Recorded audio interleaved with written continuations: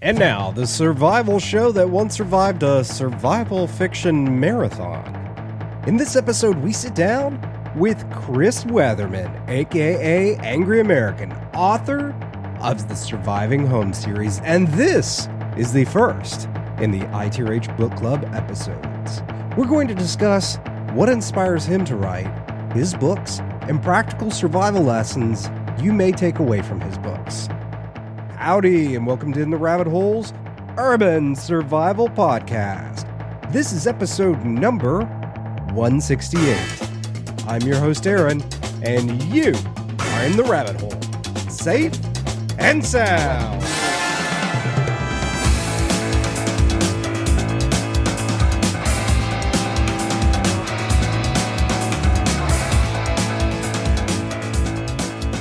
Chris, welcome to In the Rabbit Hole. Great to be here. Thanks for having me, Aaron. Now, you are the author of nine books. Man, that is a lot of freaking writing.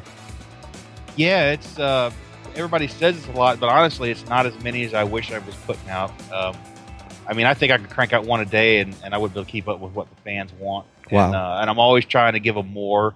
I have a goal this year to put out four. I've already put out one, and uh, I'm working on the second one now. Hope to have it done here in about two months, and then it'll be on to three and four. But I want to put out four books this year. Cool. So now, before we dive in super deep into your writing, let's get to know you for for those that don't know you that well. And kind of a personal question: How did you come to writing? I, I ask that because I know I end up finding that a lot of writers come to it at a very young age and then tend to not think much about it and then come back to it later. Is that what happened for you, or, or what's your story?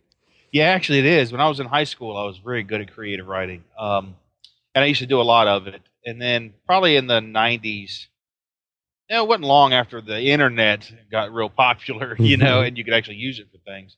Uh, I was part of a writing forum where I was, I would go in and write stories, and uh, I was writing one on there, and uh, it was about the same kind of stuff I write now. It was actually about a, a Islamic uh, attack on the Mall of Millennia in Minnesota, Mm. and um, you know, just kind of the kind of like what happened in Brussels today, that sort of thing. Yeah. But I happened to be browsing through a bookstore one day and picked up the Atlantic Monthly and found almost my exact story verbatim in the Atlantic Monthly. Oh man. I mean, like almost exactly Mm. verbatim. And it really disheartened me that to think that someone would plagiarize some idiot like myself who was just writing on a forum online. And maybe the guy didn't, but the the parallels were so close that it was really disheartening. And so I didn't. I just I didn't write anything else for years. Mm. And then uh, one day, about I don't know, five years ago, four and a half years ago, I was reading stories online on a forum that the guys had wrote, and I thought, you know, these are all pretty cool, but they're all kind of missing something for me personally. And I was just like, what the hell? I'm going to write one. And literally that much forethought. I went, what am I? What is it going to be about? All right, I'll do it about an EMP. All right, what's the character going to be doing? All right, I'll do this. So like all of ten minutes forethought, I sat down and wrote a five thousand word piece and posted it online. Hmm. That was the opening of Going Home, Hmm. and it took on a life of its own. It was, you know, Dr. Frankenstein's monster came to life right there. Very cool. Yeah, and it by the time I was done with that, it had over two million views online. I Hmm. mean, it it really took off So where did you end up posting that? On a on a forum called Survivalist Boards. Oh, okay. Yeah, Uh, I know that. I was a real active member there for a long time. I'm not anymore, uh, only because Kevin and I, I was the most viewed contributor on his forum. Mm. I had the most views of anything I did there, by by far the most viewed. And um, when I was getting ready to publish Going Home, at the demands of the people there, because I wasn't going to publish it, I contacted him and said, "Hey, let me do some banner ads or something. I'll buy ad space. Let's promote this. We it was wrote here. Let's kind of work together and promote it." And, and the guy wouldn't even return my emails Oh, that always sucks. and it just kind of miffed me, you know. It just Yeah. sort of like, you know, I'm bringing way more traffic to his board than anything else is right now, and the guy won't even take the time out to talk to me. Mm. Um, so I, uh, I left.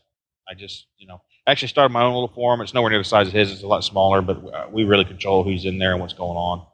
Um, and now I, I just write the books instead of posting them online. Very cool. So now you go by the pen name Angery American with an extra E. Yeah. Why the extra E? Well, there's a spell. There's a definition for that spelling of angry, and it's the facetious use of the word angry. It's to be angry over something trivial or nonsensical. But the reason for it is it's kind of a play on it because that's how the government sees a lot of our concerns and issues: trivial, nonsensical, and Mhm. and you know irrelevant. But to us, they're not. They're real issues, and they're they're really the real issues that we need to be worried about. And so it was just kind of a play on the word, and it was my username over there. Still is my username over there. And since I wrote "Going Home" and "Surviving Home" on the forum under that name, when I went to publish, I just kind of stuck with it because no one know, knew my name. It's not like I was hiding. It's just if I had published it under my name, everybody would be like, "Who the hell's that?" Yeah. But if I published it with the Angery American, everybody knew who it was, and that's the whole reason that I kept using it. Okay, that makes that makes sense. I like the uh, I like the twist with the angry with the extra e. That's interesting. Yeah. So now, as we mentioned before, you've written nine books, but most notably is your your series. It's we've got Going Home, Surviving Home, Escaping Home, Forsaking Home. Uh, was it resur- Is it Resurrecting Res- Home? Resurrecting home and enforcing home, and then avenging. Home. Avenging Home. Yeah. So your book titles all have the word home in them. What's the significance? Well, you know, it's that kind of home is where the heart is thing. It's in the prepping community, the survivalist community, we talk about bugging in and bugging out and all these various scenarios and whatnot. But it, it, in the end, we all work our lives to build a home. It's it's where we want to be. It's what we we all we're all trying to achieve. And by home, I don't mean your ideal 40 acre homestead or whatever that is to you. It could be your apartment. It could be your house, your mobile home, wherever your home is. That's that's where you're investing your time, energy, and and treasure. You know. Mm. Um, and and so it's that concept of just trying to maintain that, and it's all the things that go with it. It's family, it's tradition, it's it's everything. You know, a homeless person. You know, when we see what we call a homeless person on the street, they're a person without all those things. They're like a you know a ship foundering in a storm. They have no port, um, and so that concept of home is kind of what anchors us. And and so that was the whole idea behind those titles of Morgan Carter's always just trying to hang on to his home. Okay. And and by his home, it's a small community with his new family that that's, that grows and shrinks at times and back and forth. So it's just the idea of, of hanging on to that in a, in a turbulent world where everything's falling apart. You want that one thing that's familiar and that you can rely on and and that's there for you. hmm That anchor. That anchor, exactly. I gotcha. Okay. Chris, let's take a quick break for this message. Listeners, ITRH is kept on the air by support from listeners just like you. Visit itrh.net today to find out about the cool survival benefits ITRH Roving Horde Armada members get. Again, that's itrh.net. Now, personally, I love podcasts too. They make it easy to get great information and entertainment, and they tend to make the drives kind of fly by. And over the last couple of years, for similar reasons, I've become a huge fan of audiobooks. It makes it easy to finally read that great book I've always been meaning to check out. Because of this, I've become a huge fan of audible.com. So I'm very excited to welcome them as a sponsor of the ITRH book club episodes. Visit audibletrial.com slash ITRH to get a free audiobook such as Surviving Home and a 30-day free trial. Seriously, if you've never tried it, you've got to. It's simple. You find a great book, you get it, and you can listen to it just about anywhere. Again, audibletrial.com slash ITRH for your free book and 30-day free trial. Now, back to Chris. A little while ago, we were talking about, you said you just kind of threw the storyline together quickly. Was there some inspiration, some spark, some something that that initially drove you into the series? Well, like I said, when I was reading the other stories and thought, you know, these these are all good, but they're they're kind of missing something. What I did going home was I played out a what if scenario for me. I sat down and and armchair quarterback something. Mm-hmm. Um, the trip that Morgan Carter takes is a trip that I used to take when I was still working um, doing security systems for jails and prisons. It was a system or, or a, a trip that I took very often from my home in Lake County, North Lake County, up into southern Georgia. Uh, I knew the route like the back of my hand. I could drive it with my eyes closed because I drove it many, many, many times. And so I just kind of played it out. What would I do if I was that far away and something happened? How would I try to get home? And I just started to play the story out um, and writing it down. And that's really how the whole thing happened. It was honestly a thought exercise for me. Okay. Uh, never dreamed it was going to become a book. Had no idea. um, actually resisted for a long time, but um, I got to say the fans were persistent. Thank God, and God bless them because it's changed things for me big time. Now you said the other books were missing something for you. Was it is it more of a, a general thing that they were missing over and over again, or was it just a collection of each one kind of just for you got something wrong or just left something out? Yeah, the the one thing that I hate, and and I might and I'm probably guilty of it at some point too, is I hate the cliches that show up in survival books. Um, Cliches hate- in survival books? Oh, no, I- never. I, really do. I, they- I mean, it just edges my teeth when I'm reading one and I see it. Yeah. It's the it's the he catches the the the scope glint on the hill in the distance, you know that that kind of thing, Mm. or they or they meet the bad guy in the in the opening chapter only to let him go so he can return later with a with an army. That kind of thing just bugs me. Because in the real world, ultimately, a lot of these books are talking about violence. You're you're defending your home, or and really that's what it all comes down to. You're defending your home, your community, and in violence, action always beats reaction every time. It goes into what we call the OODA loop, and if you're reacting, you're going to lose. You have to be acting, and so it's always action beats reaction, and Hmm. that's kind of what I do in the books. As we see, Morgan Carter, he's a bit brash. He doesn't always make the right decision, but the guy acts, and he acts quick uh, because he understands that. There- You know, second place is the first loser in this world Mhm. and and that's very important. And people have got to get their heads around that because even in self defense, what you're talking about is violence. Um, if you're defending your home, if you're defending your person, you're defending your family, whatever, you're talking about violence, and you've got to do more violence, bigger, harder, faster than the other guy if you're going to win. And that's kind of what it comes down to. Okay. So you've brought up Morgan Carter a few times. Let's let's dive into the main character. So what was your thought process for crafting a character, especially a main character that the readers and fans could really connect with? Well, what I wanted him to be was kind of an everyman. He wasn't a former special forces ninja. um, you know, he's not even prior service. This guy, he's just Okay. a normal dude. He's he's a dad. He's a husband. Um, he's just a normal guy. That's you know, he was aware. He prepared like like a lot of us do. He stocked food and weapons and ammo. But again, like a lot of people, he stocked weapons, but never stocked training in those weapons Mm-hmm. uh, you know, and and he so he's just a normal guy, and he's got to try to make his way through this world. And you know, some people will rise to the occasion, and, and some people won't. Um, and you know, Morgan, he's trying to rise to the occasion. Uh, sometimes against his own will. He doesn't want to be the guy that always has to do everything and make those decisions. But you know, he can and will. You know, Mm. if it comes down to it, the guy will make a decision. He may regret that decision later, but he'll make a decision. And that's honestly it's what you got to do. You know, when I was an electrician, I had guys working for me. I would tell them all the time, make a decision, do something, and we'll see what happens. Mm. But but make a decision. You've got to do something here, and you've got to decide what to do. We can't sit here and talk about it all day. Make a decision and go with it, and we'll sort it out down the road. Um, and honestly, that's what it comes down to. Because in a crisis situation, we hear there's there's fight or flight, right? Yeah. Um, there's two things. There's, well, there's also a third one. There's People freeze, yeah. freeze, and a lot of people freeze. Mm. You can't freeze. You know, freeze is stationary.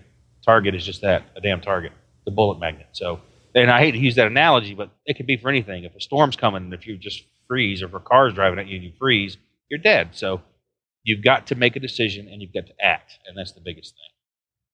Okay. And you're saying he makes mistakes. Do you intentionally write those in, or do they just? Is it a stream of consciousness for you, kind of the writing process, where they just happen and you're like, oh yeah, he would totally screw this up? Yeah, it, at this point, it's really a stream of consciousness thing. Um, these stories now write themselves. You know, it's like they're there. I when I start writing, I don't. When I start a new book, I don't outline it.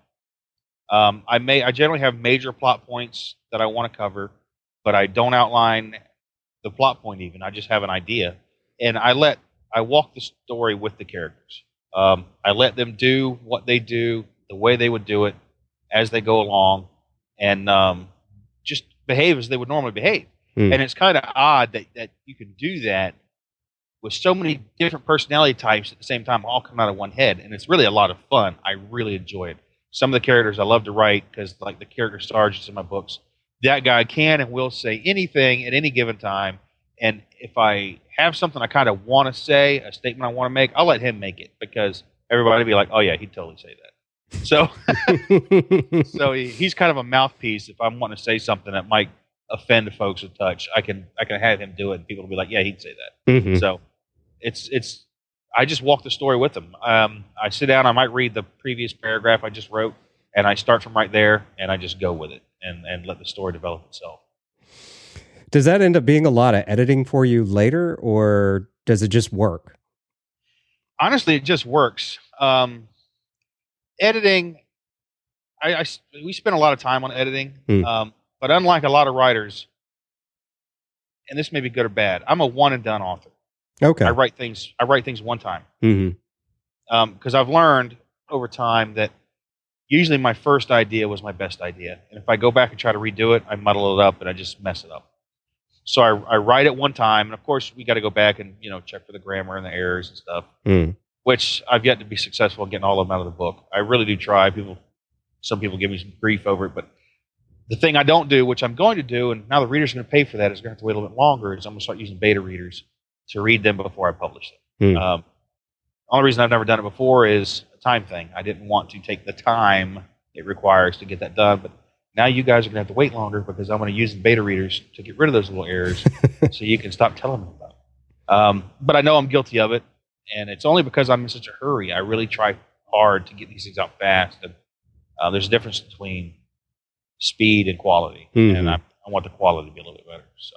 All right. So now we've danced around this a lot. Walk, but walk us into the book. Where does the series start?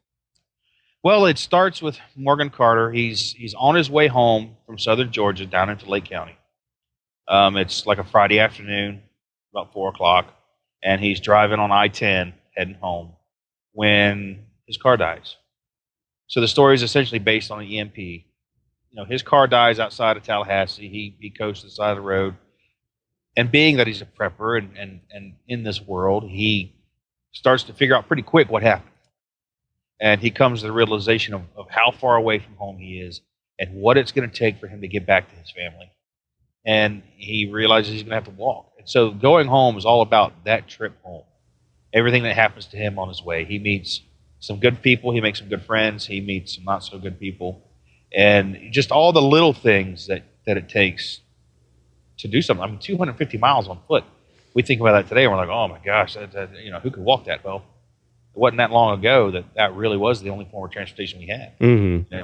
the soul train you know and so he he has to walk home the subsequent books pick up there about you know surviving home is once he's home he finds out you know the whole time he's walking he he only talks to his wife one time via ham radio so he has very little idea of what's happening at home and he gets home to find out that his community unlike what we would all hope and pray that our communities would band together and work together his didn't Mm. you know they're really kind of all out for themselves and it's devolved into a bit of an issue and this is where morgan steps in and starts making some of those rash decisions that you know come back to haunt him later i want you know if people haven't read it i won't tell them what he does but he does something in front of the entire community that that's, that's most people would be horrified by Mm-hmm. um, but he does it because he thinks it's what's necessary I actually did read that book, and I remember that, and I remember going, "Yeah, I can totally see where he's coming from with that." yeah you, know and I think it would probably be something I would do. I mean, how can you turn your back on someone like that? Yeah, You know? exactly, exactly. You've got to do something, and and it don't matter if it's a man or a woman or a grandmother or you know a teenage kid. You know, all of them are capable of killing you. Yes. And and this goes back to action is faster than reaction. Mhm. Trumps it every time. So now you mentioned EMP. Is that is that something? I guess let me put it this way: we we all sort of have some pet thing that either gets us in prep or kind of keeps us in prep. Is EMP uh, yours, or was it just that's where the story took you? it's it's just where the story took me. And honestly, I started with EMP because I wanted to set the world up for as bad as it could be. Okay. out of the chute. Um, and for our world, an EMP is about the worst. Well, short of asteroid strikes or something crazy like Yeah. that, that's like a an extinction level event. Mhm. But for our tech, for our modern world, an EMP is one of the worst things that could happen. Um, we have a very modern society. You know, the luxuries are at our fingertips. By luxuries, I mean air conditioning and electricity and water, running water, clean water. Those are luxuries. You go spend time away from those things where you have to go get water and carry it to where you want it and then purify it. You'll understand what a luxury running water is. People take it for granted today Mm. and I've had the discussion often with with people that we've created a artificial um, reality. Really, it's not a natural system we live in, full of what I call synthetic life forms. You know, the Kardashians and all those kind of people, the the the, rich, the Hollywood, the wealthy types that Mm. would not be able to function in a natural environment. They they live in a synthetic world um, and if thrust into a natural environment of having to hunt their food, you know, find their water and, pu- and purify it, build a shelter, you know, collect firewood, keep themselves warm. They wouldn't survive, and it's not just them. There's there's millions of people, hundreds of millions of people in this country that wouldn't be able to do those basic things Mhm. you know, the average person, you could hand them a rabbit, a live rabbit, and say, "That's your dinner tonight. Deal with it," and they wouldn't know where to begin. Um, you know, even the thought of having like having to kill a rabbit would would just horrify them, and and take it on up. You know, if if you're if they managed to survive and they were wandering the wastelands and, and they were hungry and they saw a cow, what would they do with it? You Mm. know, if they managed to kill the thing, they would, you know, hack off some meat to eat that day, waste that animal, you know, because they wouldn't know how to address it. Hmm. Um, and so it's it's we, we- we've created an artificial environment that's not natural, and and again, these synthetic life forms, as I call them, not to be crude or, or, or nothing to them, but that's what they are. Mhm. They don't. They cannot exist in a natural environment. Um, and I pride myself on being able to exist in a natural environment. Hmm. So now, I noticed the series is referred to as the survivalist series on Amazon. Do you consider yourself a survivalist or a prepper, or do you use the terms interchangeably? I ask that because for some people it's a big deal. Other people are like, I don't know, whatever. Now, well, the, the whole survivalist series thing, something Penguin hung on it, wasn't my idea, and I actually argued against it, but Uh. I lost. Yeah, I don't. I don't care. You know, you can call me a survivalist. You can call me a prepper. I've been called worse by better folks. I don't really care. um, you know, some of them on TV. Mhm. Um, it doesn't. It doesn't affect me. I, I'm. Uh, I personally like the term survivalist. I truly do, in the purest form, not the the bunker dwelling, ammo polishing kind of survivalist, but just a survivalist. I I can survive. Hmm. Um, you know, and we all have our caveats and our issues. You know, I, I did a TV show where I got a lot of flack coming out, but you know, that wasn't a survival situation, and uh, me and canines don't mesh. That's all I can say. So, What was Uh, what was the TV show? oh, it was History's Alone. Okay. Uh, they put ten of us out in Vancouver Island Uh huh. um, and left us to see who could stay the longest. And um, I had a pack of wolves show up in the middle of the night, Oh, And, fun.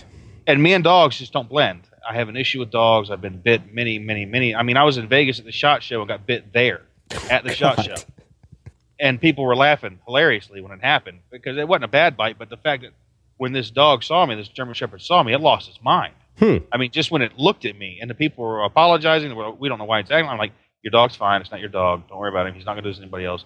And it wasn't three minutes later. He he bit the hell out of me. Hmm. And um and I was with a bunch of guys, uh, SF type people, and they were just laughing. They thought it was the funniest thing they'd ever seen because I told them it was going to happen. I said, "Watch him. He'll he'll get me," and he did. So It's that so- ham you carry around in your pocket, Chris. yeah, I don't I don't know what it is, but me and dogs just just don't blend. And uh, so when I had a pack of wolves show up Hmm. In the middle of the night on Vancouver Island at night with no man-made lights, no, didn't have a fire yet. It was so dark. It's like being underground. Hmm. And all I could do was hear these dogs. but they were close. They were within about thirty feet of me. Oh wow, that's that's. and the next morning, I verified that by their tracks Uh, where they were. And so for me, that was just a terrifying moment. And I'm sitting there thinking, this is a stupid TV show. I don't need to be here. I'm not going to put up with this. I'm out because I'm not going to get attacked by a dog because that's just my thing. I mean, I I don't do dogs. I mean, I yeah yeah. My Squirrels okay, dogs not so much. I've got three dogs, but other people's dogs, and I got another one coming. I got a, a tra- one that's going to be a trained protection dog coming. Hmm. That's going to be a lot of fun, probably. But yeah, it just I didn't need that issue. So that's interesting. I remember seeing the ads for the show, but never did watch it. But that that's interesting. Now I'll have to go back and, and watch it a little bit. yeah, go check it. It's a really good show of of what we call survival reality TV. Yeah. it is the best one that's ever been done. Oh wow, Uh, okay. I'll definitely it, go it truly because there was no BS. I mean, I was there. I know there was no BS. They literally dropped us and left us hmm to our own devices, and it was just call us when you want to come out. Cool. So now you've also written Charlie's Requiem and I can't read my own handwriting here. The Rambling Man. The Rambling Man. Okay. Yeah. So are these standalone books or do they have something to do with the home series? Rambling Man was a standalone. It was actually a novella set in Steven Konkoly's world of the Jakarta pandemic. Oh, okay. So it was a novella set inside of his world that I did, based off of a, a, a friend of mine from years ago. I know somebody just like the main character there. And uh, Charlie's Requiem is one I co-authored with a friend of mine. That's a novella set in the Going Home world. Okay. So it's it's set inside of the same universe of what's happening at Going Home, but it takes place in Orlando, and it was pretty well received. So we're actually Walt Browning, the guy that did it, and I are doing a full length novel um, that'll come out in just a few months of Charlie's Requiem to follow his characters through, and we're going to go ahead and play that one out because everybody seemed to like it. hmm Um, that one has a little different play on things. These are not preppers in any aspect of the word. These are just normal people that find themselves thrust into these situations and they try to deal with it. Oh, okay. That should be interesting. You know, that brings up you you brought up uh the Jakarta pandemic. What what authors inspire you and uh give you like, oh wow, okay, that was good. You know, maybe I should try something like that in my next book or like where do you Well- who do you look to for inspiration? Well, now that I write, I find I don't read nearly as much as I used to. Yeah. I used to be a voracious reader, and, and my wife would get on me because I'd have books scattered around the house. There'd be one by the bed, one in the living room on the table beside my chair, and you know, one or two in the bathroom, you know, in the reading room. And she would get on to me about reading all these different novels at the same time. But now that I'm writing, I find I don't read as much, mainly because I don't, I don't want to get their ideas into my head and disrespect them by doing something with it. You know, Mhm. sounds kind of weird. No, I know exactly what you mean. But um, I do have some favorite books. I mean, probably my all-time favorite post-apocalyptic novel is *Alas, Babylon*, that and is a damn good book. I, I love that book. I've got the audiobook, and I mean, I was just in Nebraska, and when I was coming home, I listened to it again, and I can I can listen to that one over and over and over. hmm Um, but you know, things like Lucifer's Hammer, some of the ones that were wrote years ago, I find are generally better hmm than a lot of stuff today. But there's some really good guys out there. I like Steve, Franklin Horton, um, you know, Bobby Akart. The guys that are doing some stuff today are, are really good. G. Michael Hopf, he's a good friend of mine. He's a really good author. Those are the guys that I that I follow. I you know I keep on tabs on what they're doing and, and how they're doing things. That's really ab- about it right now. I mean, I was a, a fan of Rawles. I used to read his stuff. I haven't read anything of his in quite some time now. I didn't even finish the Patriots series hmm got a little it had issues for me personally so i just quit reading it Okay. um, but patriots i thought was a fantastic book I, you Hmm. know, a little preachy but it was a good book Just a touch. just yeah yeah just uh, to put it mildly Yeah. but it was a good book but you know and see i i, I see myself as the counterpoint to Rawles of in Rawles's books these people have an unattainable level of preparedness hmm that most people will never ever achieve. And and to hit to Rawles' way of thinking, and you know, and, and he has this. I mean, to his credit, he does have this. He lives it. Yeah. He lives it, yeah. But to his way of thinking, if you don't have these things, you can't survive. And that's that's just kind of set people up for failure. You know, if they know they can never achieve it, why bother? Exactly. so I, I approach things from a much smaller, more realistically attainable goal and and end goal. Really, Hmm. you know, it's like I tell people, anything you do today is that much more ahead of everybody else because they're not doing anything. You know, so even if it's only a five pound bag of beans, you know, and a sack of rice that you put in a mylar bag today, you're that much farther ahead than everybody else because they're not even doing that. So anything you can do, you know, if it was five gallons of gas that you poured some Sta-Bil in today and stuck behind the garage, you're just that much farther ahead. You eat an elephant one bite at a time. Mm-hmm. And that's just the best way to do it. So You know, that kind of brings up, in a way, uh, another question I had for you, which is uh, what's your prepper pet peeve? Like, what do you see other people, can be anything, advice given, or just something you see people do over and over again that you're like, ah, I wish people would stop doing that. Well, there's a number of things.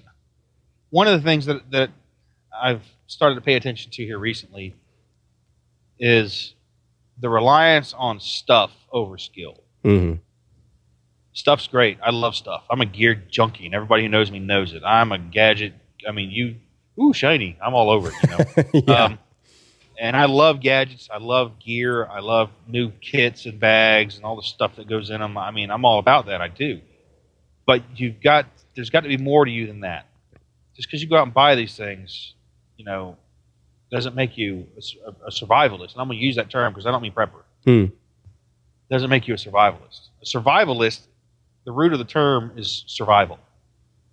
You know, we can then we can extrapolate that to survivor. It means you survived just being prepared doesn't necessarily mean you're going to survive. You've got to have the skills and the fortitude to use that stuff. And so we see the memes on Facebook every now and then about nobody needs a three thousand dollar AR-15; they need an eight hundred dollar AR-15, you know, and twenty two hundred dollars for the training. Mm-hmm. And that's very accurate. Whatever your plan is, you need to train for those things. And there's a lot that folks need to learn. We need to know how to use our weapons effectively. We need to know how to treat the medical emergencies that are going to come up. I don't mean try to be a surgeon because we're not going to be, Right. but to deal with as much as we can. We need to know how to plan our food and take care of it, how to take care of our, our animals if we're going to have livestock, which that's a whole other thing that I want to get started on the livestock end of things. I've went through several evolutions on that and, and played them out in my head. And livestock is, is only, depending on where you live, is only as good as long as you can feed them. Mm-hmm. And so if you have livestock that's feed heavy, feed requirements are heavy, they're only going to last you so long unless Mhm. you're stocking up grain silos, you know. So livestock that can forage for itself is the better option. Goats, even chickens can do that to a degree. Small scale stuff. But but skill sets. It's it's all about skills, you know. You can get a backpack full of goodies and wander off into the woods and that doesn't mean you're going to make it out. We see every year people Yeah. die in the woods with, you know, things happen. And it's because they didn't have the knowledge and the skills to do what they were attempting. And ultimately, what we're talking about here is, is life. I mean, this is, you know, life and death. We don't know what form these things can take. And it doesn't have to be the end of the world. It can be a, hurricane level or Hurricane Katrina level event. Mhm. Um, it could be like the northeastern blackouts or the Sandy hurricanes up north. You know, when you see those people on the news, why? How come nobody's coming? We need help. Well, help yourselves. You should Yeah. be able to help yourselves, and that's what I'm talking about. Is that kind of knowledge, you know, of how to get around these things. A lot of it is making do with less. You know, you're not going to be able to maintain your current lifestyle in these events. There's going to be some compromises, and you need to learn now how to get around a lot of these issues. Like when the water stops and you can't flush your toilet anymore, what do you do? You know, Mm. most people most people fill the bowl up. You, you know what I mean? Yeah. Um, you know, unsanitary, a host of issues there. But well, you need to learn how to dig a proper latrine, where to dig a proper latrine, and how to get around the issue of well, we've run out of toilet paper. What do we do now? Hmm. Learn these things now. That's a simple thing you can you can study. You know, um, one I'm currently dealing with. I have a wife and four daughters. One's not at home anymore, but I've got three here in my house. Feminine hygiene issues. That's a lot of feminine hygiene product. Yeah. You can only stock so much of that stuff. Mm-hmm. what what do you do when that runs out? And I don't care what it is or how much of it you have stocked. If the world comes to an end as we know it, Yeah. you will run out. Okay. Mm. What do you do when it runs out? So figure it out now. We figured it out. We've got a solution. It's on its way. So no one's going to like using it, but they're going back to the old cotton fabric Ah, style. Yeah. You know, they're Mhm. reusable. They got to be washed. They got to be reusable. They're effective and they're better than nothing. hmm And uh, that's a company called Luna Pads for women out there. You think about this. That's a product that you should have on hand as your worst case. That's your lifeboat issue there. That's you've got nothing else. Or if you're bugging out, think of a woman trying to bug out. How much of that stuff can they stuff into a backpack? hmm Well, you can take a small handful of these things and stuff them into a backpack, and you can reuse them. Yeah, you got to clean them, but you have a solution to Mhm. the problem. So, and it's just that kind of thing. Think these things out all the way, and and learn the skills necessary to, to deal with them now. And and I consider that a skill. Identifying your issues, finding your solutions, and implementing them is as big a skill as anything else hmm just saying, oh, well, I've got 10 years worth of toilet paper in there. Well, what happens if your house burns down? Now what are you going to do? What's your solution now?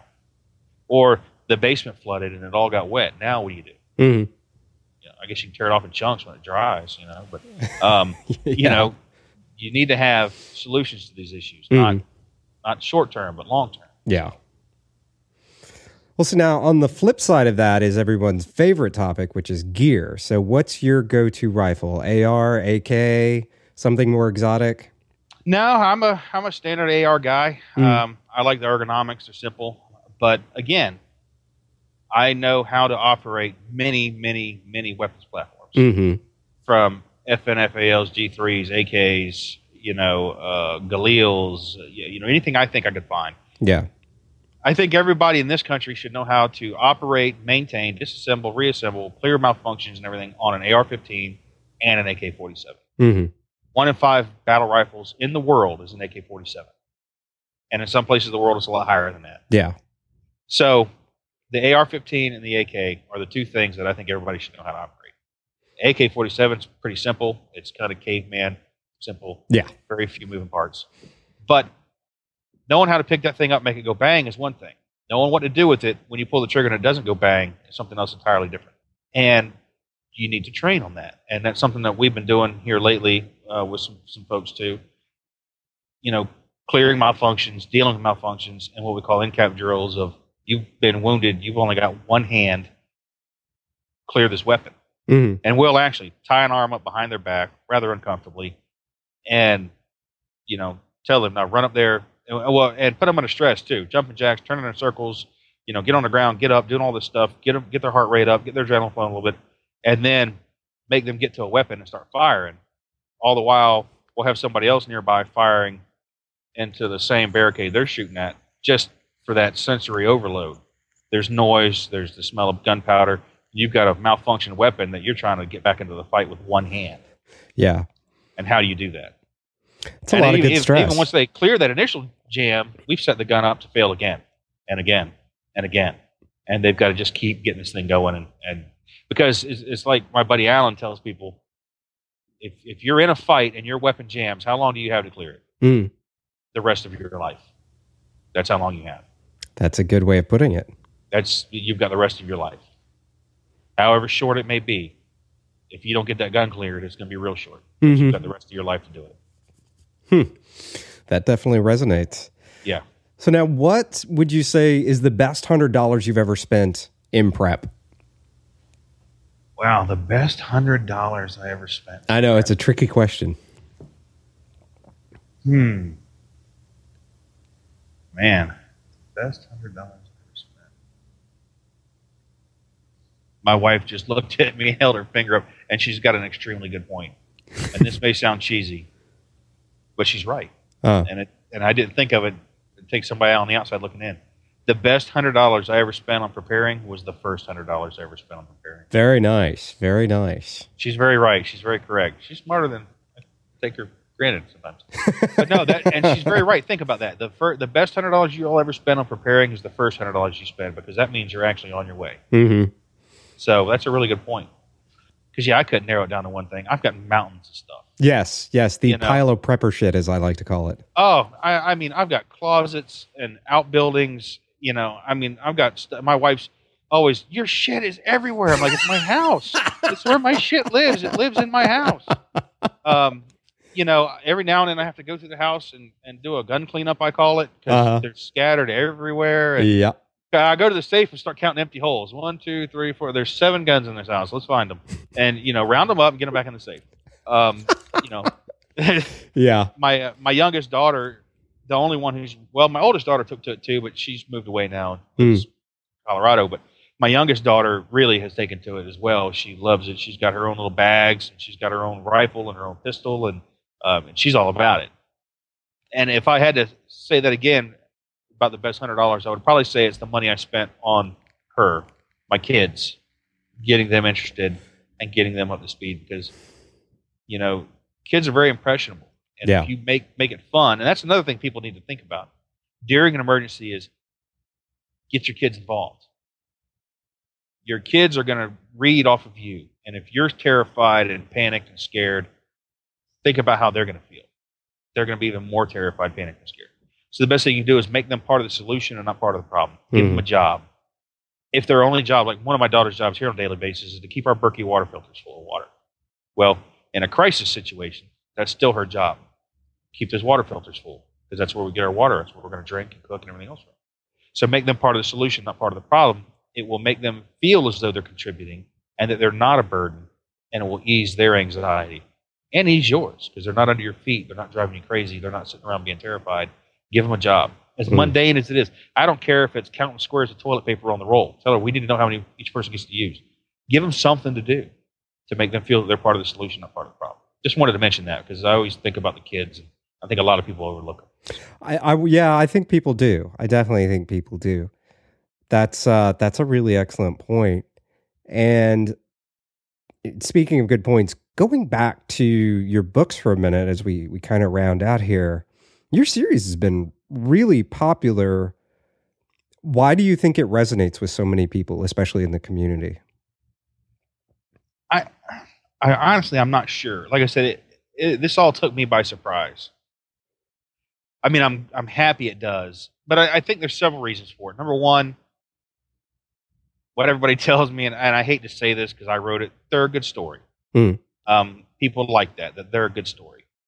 I try to avoid the cliche thing. There's struggle and strife, and these guys don't always get what they need exactly when they need it. They got to find a way to do it. And one of the other things about it is I put real and useful information in the books.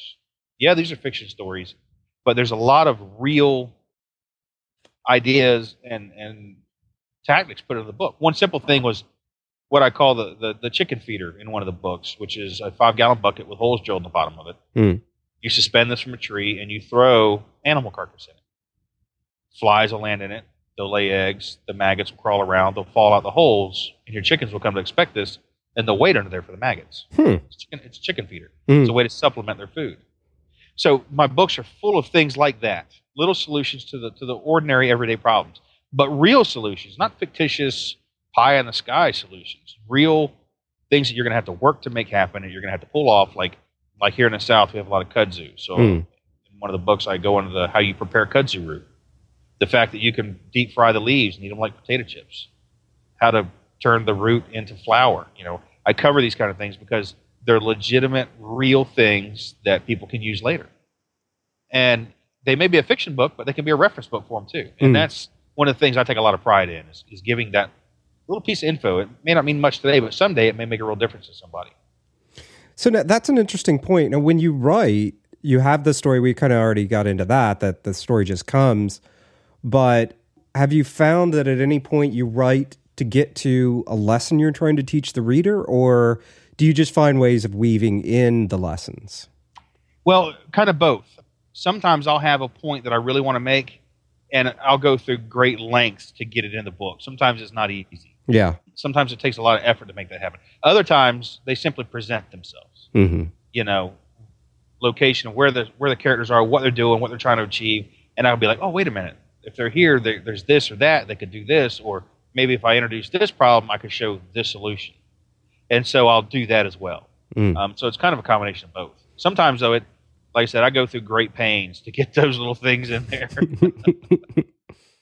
Very cool. Now you said you've got more books coming out on the way soon. What uh, what should readers expect from you uh, here in the near future?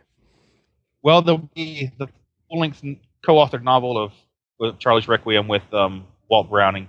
Um, Jeff Hopf and I are also working on a short novel called Hope that's set in the Going Home world but takes place in California. Okay. And so that's one he and I are doing.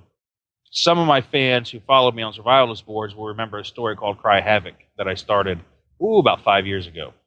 Uh, I'm currently working on that, and that will be the next novel that comes out. Okay. It's totally unrelated to Going Home. It's set in an entirely different world of what's happening, but very much appropriate to what is happening in today's world here in our country.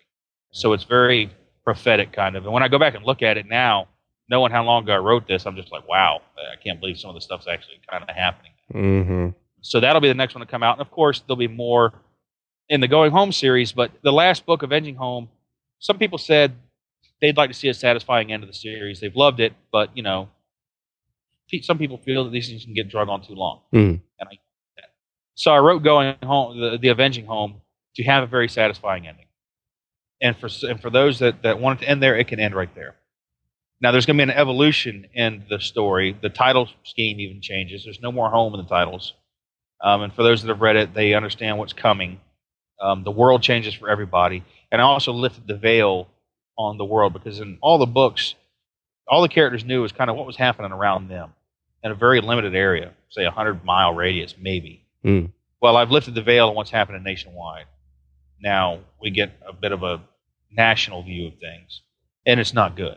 So it's going to open up a lot of possibilities for where the stories are going to go. So there'll be a, a change to the titles. The foundation of the stories will stay the same, but the issues they're dealing with are going to be a lot bigger, a lot more profound.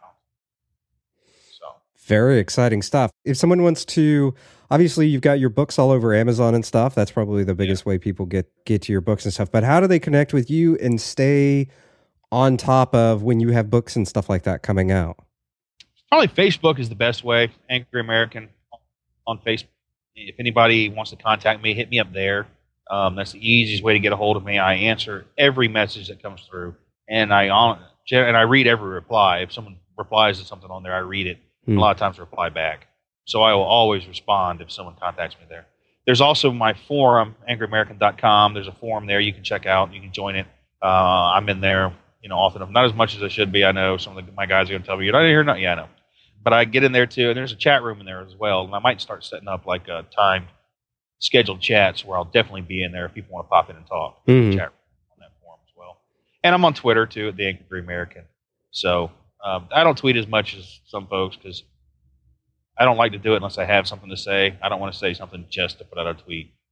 So if I've got something to say, if you see a tweet coming out from me, it's it's because I got something to say. Mm. So, but those are the best ways to follow me.